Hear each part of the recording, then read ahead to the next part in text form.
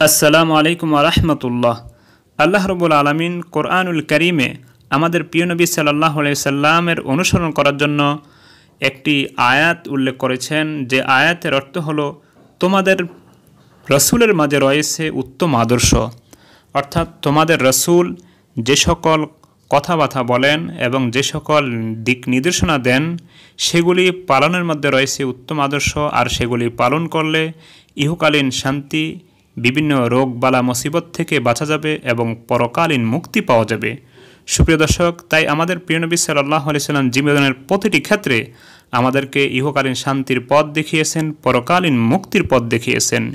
যে কীভাবে চললে সুস্থতার সাথে, শান্তির সাথে জীবনযাপন করা যাবে, তাহা আমাদেরকে পুঙ্খানুপুঙ্খানুভাবে বলে দিয়ে গিয়েছেন।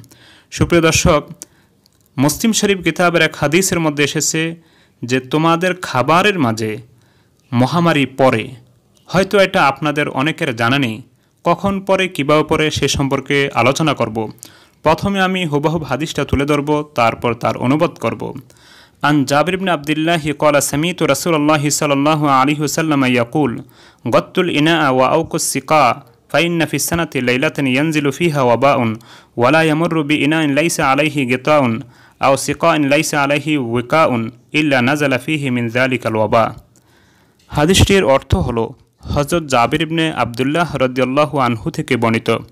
তিনি বলেন, আমি রাসুল্লাহ সাল্লাহ আলহিসাল্লামকে বলতে শুনেছি যে, তিনি বলেছেন, তোমাদের খাবারের পাত্র ডেকে রাখো, পানির পাত্রের মুখ বন্ধ করে রাখো, কারণ বছরে যে কোনো একটি রাতে মহামারী অবতীর্ণ হয়, আর যে খাবারের পাত্র খোলা থাকে এবং যে পানির পাত্র খোলা থাকে, আর এর পাশে দিয়ে ওই মহামারী অতিক্রম করে তাহলে ওই পাত্রের মধ্যে অবশ্যই তাহা পড়ে যায়। সুপ্রিয় দর্শক, বুঝতে পেরেছেন? এই হাদিসটি কত গুরুত্বপূর্ণ। এই দিক নির্দেশনাটি কত আমাদের জন্য কার্যকরী।